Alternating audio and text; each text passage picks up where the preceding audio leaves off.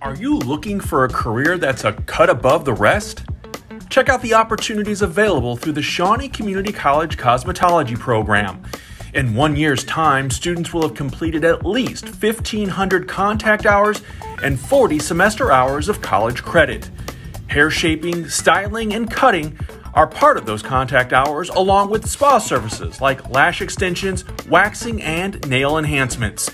Don't wait another minute. Your future starts here. Contact us today to enroll.